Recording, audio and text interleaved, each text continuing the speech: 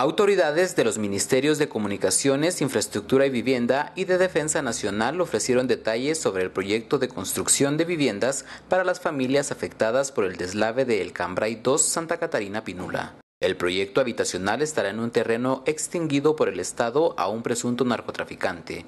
La finca tiene una extensión de 10.8 manzanas y se localiza en el kilómetro 26.5 ruta Mataquescuintla, Jalapa que esto sea eh, un proyecto que proviene de un terreno que se ha dado como extinción de dominio, eh, puede ser un proyecto prototipo y eso es importante.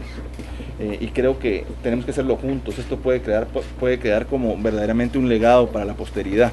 El hecho de que terrenos que han sido pues, concebidos producto del crimen organizado hoy puedan ser utilizados para bendición de las familias eso puede ayudarnos mucho a resolver temas de vivienda como este que están pasando en todo el país. La colonia albergará 150 viviendas de 50 metros cuadrados cada una. Esta solución habitacional contará con todos los servicios básicos, áreas de recreación y una plaza en homenaje a las víctimas de la tragedia.